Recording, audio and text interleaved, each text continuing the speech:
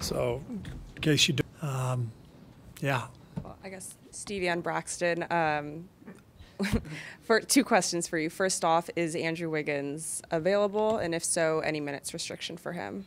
Uh, yeah, he's going to start, and um, he will be on a minutes restriction, um, and so we'll, you know, we'll play him, you know, in, in shorter spurts. And Yes, yeah, Donte will come off the bench. So uh, Jordan, Klay, Loon, Draymond, and Wiggs. and then, have you thought any more about what Andre's minutes restriction will look like tonight? Um, yeah, I mean he'll play. Um, he- he'll he'll play a couple of uh, um stints. I mean it, it's it's flexible, so it'll kind of depend on how the game's going, how he's feeling. But um, he'll be out there tonight too. Steve, what's your biggest piece of advice for the young man on your right as a coach? Um, I would say um, be careful with the media for sure, because these guys, you know, they're they're out to get us. Um, and uh, hopefully, you know, you, you get a, a better PR person than Raymond Ridder, but you know, you just have to deal with the people who you you, you know you're stuck with.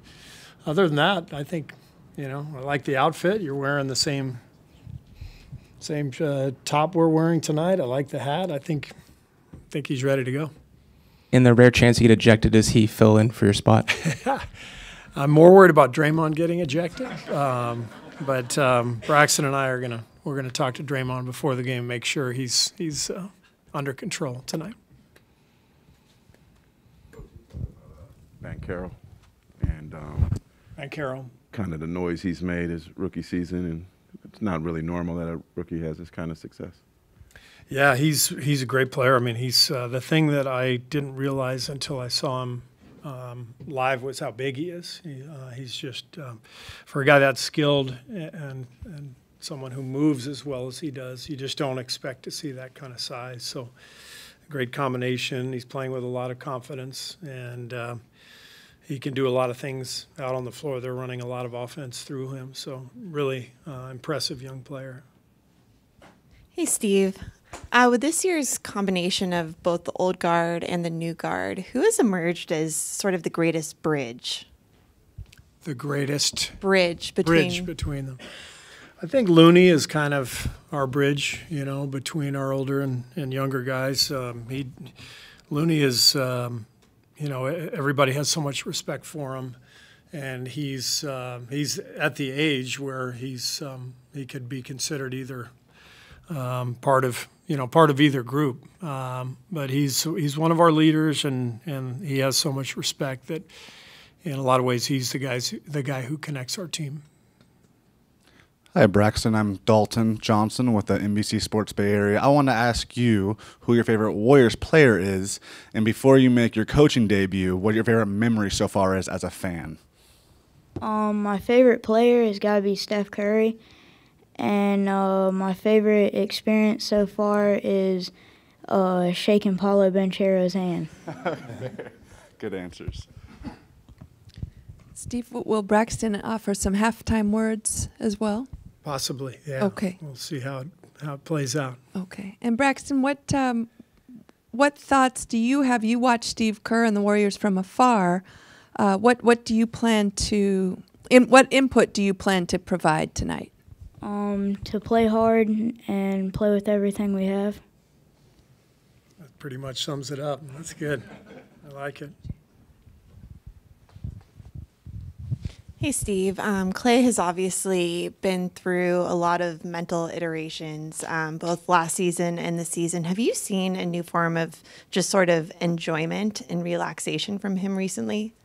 Yeah, I think he was uh, a little stressed uh, earlier in the season. You know, um, slow start out of camp, and you know having a minutes restriction, and he was trying to force the issue. Um, so I, I do think um, he's emerged from that and is is playing um, in a more relaxed state. And it's one of the reasons he's he's playing better. He's kind of letting things come to him more now, and he's talked about it um, about how much he's enjoying um, the game. And and uh, I think one of the hardest things for um, any player to um, understand in the NBA, i- i- um, maybe understand is the wrong word for Klay, uh, but but to deal with is that they're just going to be bad nights, no matter who you are, even if you're the best player in the league. You know, there's just nights where the ball doesn't go in, things don't go your way, and you have to have the uh, the the mental approach to just move past it and get ready for the next one. And uh,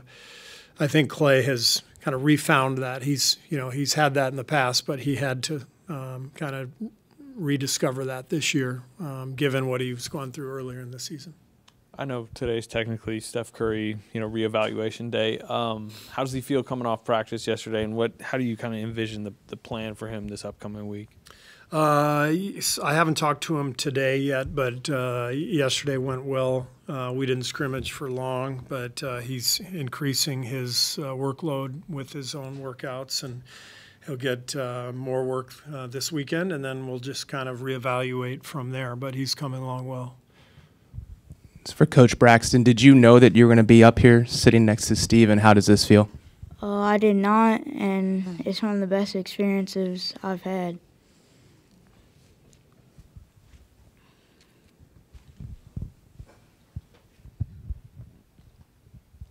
What makes you want to be a coach? There's, I think he'll tell you there's some some pressure involved, and um, sometimes you get yelled at by fans and and uh, players too.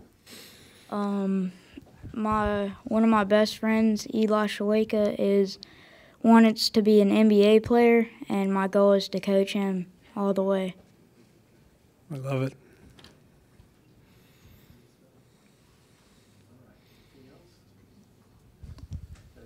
All right. So Braxton and I will see you after the game.